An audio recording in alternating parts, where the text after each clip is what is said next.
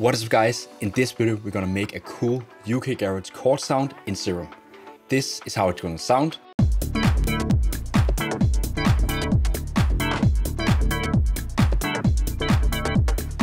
Ready? Let's jump straight into the project. Okay, so if you want to get hands on this preset, you can get it on my membership site via the link in the description down below. Here you can also download a lot of other sounds and other Serum presets as well. Okay, so these are the chords that we're gonna use for the example in this tutorial. You can just pause the video and copy the chords in your own project. Okay, so we load up Serum, we go to oscillator A, gonna go to digital, we're gonna select this anti-stasis one. We're gonna put this to minus one octave put the unison to 5, put down the detune to around here. Then we're going to set the wavetable position to around here, and we're going to put up the level. Then we navigate to oscillator B, and here we select on the digital, we go and select FFT add seconds. And we're going to set this to plus 7 in the semitone, and we're going to put up the unison to 4, and put the detune down again. And for the wavetable position, we're gonna set this to around here. I think around here. sounds a little bit weird, but we're gonna make it sound better when we're gonna enable the filter. So as you might see, the level is going pretty much in the red, so we're gonna turn down the master. We're gonna add a compressor and some stuff later on to turn up the volume. So we go to the filter now, and we select the MG Low 24 and set the filter cutoff to around here and enable it for both oscillator A and B. Then we want to add a little bit of drive. So put the drive to around here and also add some fat. But now we have added some drive and some fat and it's going to turn up the volume of the sound. So we have to turn uh, the output gain down a little bit. And one cool nifty trick is that you can press the mix knob here under the filter settings and now it actually acts as a level knob instead. So we can just turn this down a little bit.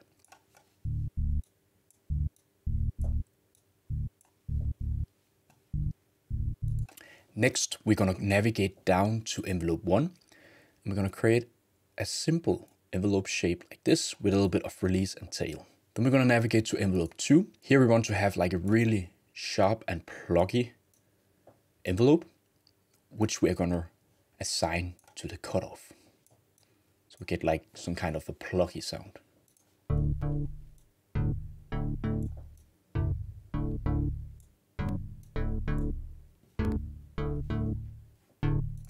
And I actually want to add a little bit of attack to the sound.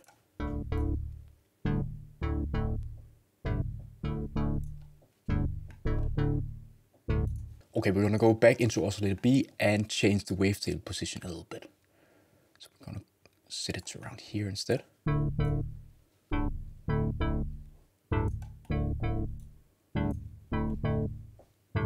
Yes. Okay, so now we want to add some extra modulation to these sounds.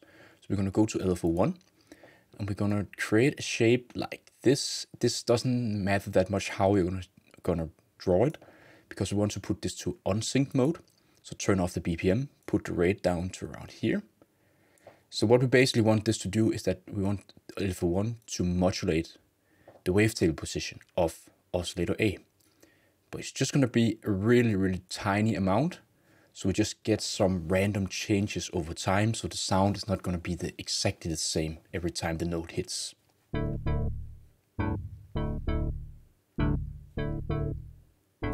So you can see the, the wavetable of oscillator A is actually moving, which is pretty cool. Okay, so now we're gonna add some really crazy modulation to these sounds. So we're gonna go to LFO2. We're gonna create some weird shape again, put it out of sync to around rate to around here.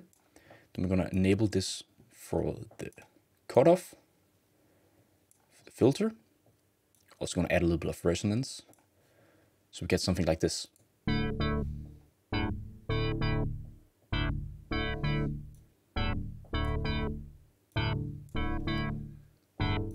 Might sound a little bit weird, but what we're going to do now is that we want LFO3 to modulate the rate of LFO2. So we're going to go to LFO3 and we're going to create like a shape, something like this. Put the rate down, And then we're gonna go to matrix and we're gonna go to source, select LFO3 and go to the destination and select the rate of LFO2. I'm gonna turn this up. Now we get something like this.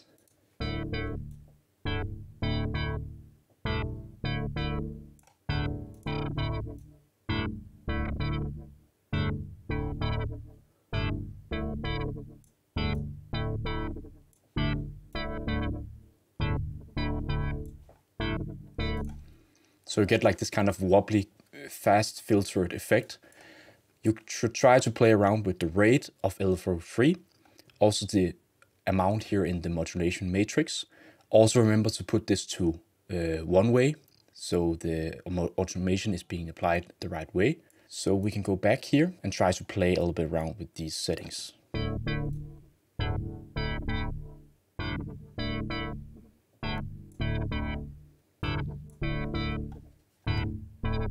Pretty cool.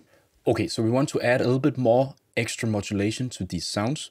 So we're going to go to Matrix, and we're going to enable the Note on Random 1 for source, and we're going to use it for oscillator B. We're going to use it for the wavetable position here. So that means every time the note hits, some random mod modulation amount is going to be applied to the wavetable position of oscillator B. So we can crank this up a little bit, and then we can visually see here that it's changing.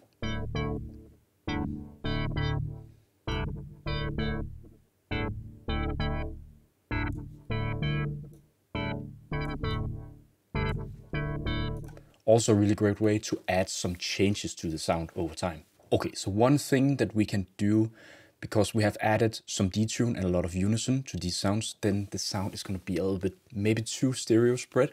One way that we can control this in, in Serum is that we can go to the global tab, we can go to the unison tab here and just decrease the width of the unison for both oscillators. I like to put them at around 50 because then I get a little bit more a narrow sound, so it's not being too spread and maybe causing some phasing issues. Okay, I know you're enjoying this video right now, but I really need your help. Only 14% of you guys are subscribed to my YouTube channel, so do me a huge favor and smash that subscribe button for more awesome tutorials. That's all, thank you so much. Now let's get back to the video. Now we're ready to go to the effects. So we start by adding distortion. I like to use tape saturation, cranking up the drive a little bit, and then just reducing the mix. I don't want to have too much of this effect going on.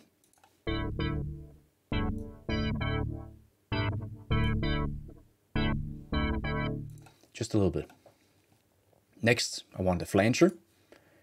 And I think I'm just to use the basic initial settings.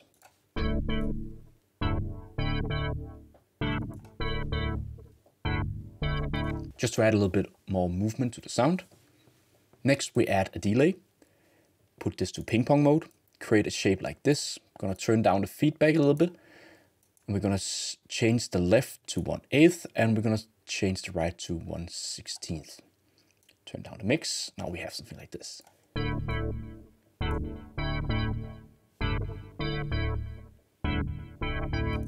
Can I actually turn up the master volume a little bit? Okay, now we can also add a compressor and I just want to have a tiny amount of gain reduction.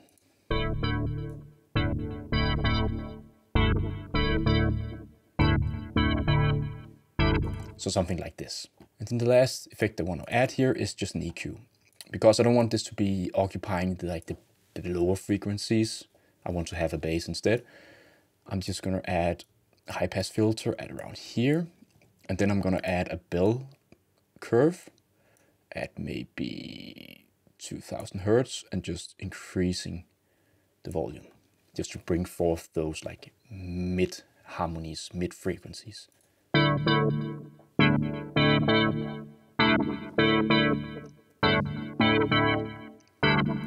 That's pretty nice. And now because we have boosted some of these frequencies with the EQ, I could see that there are some areas that it was going into the red, so just reducing the master volume a little bit.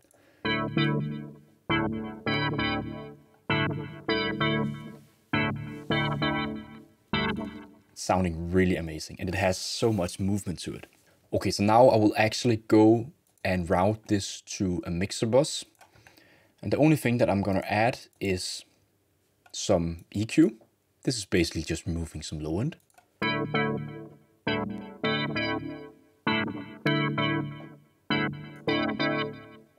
And this is basically just to control if there are any like generated low frequencies. Then this Ozone 9 imager is just to check the stereo information.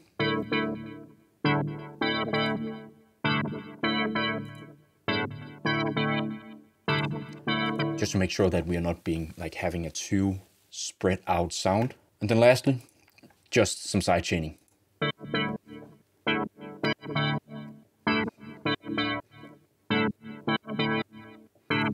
Just to make the sound duck accordingly to the a kick drum that I have just added for a small beat idea. So let's just listen to the track in a context with some bass line and some drums. So yeah, that's the sound that we have created today.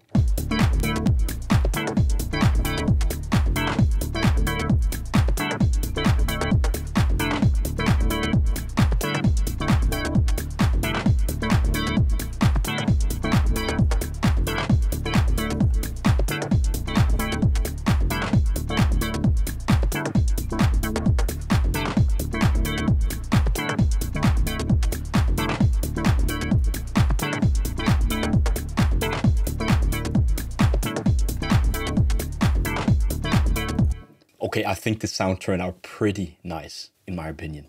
I hope you liked it as well. Okay guys, that's it for this video. Remember, if you want to get access to this Serum preset, you can go and find it on my membership site. The link is in the description down below. If you liked the video, it means so much to me if you smash that like button or even subscribe to the channel. And if you're looking for some sound inspiration, I have some Serum preset packs and sample packs on my web shop. The link is also in the description down below. So I hope to see you in the next video. Take care. Peace.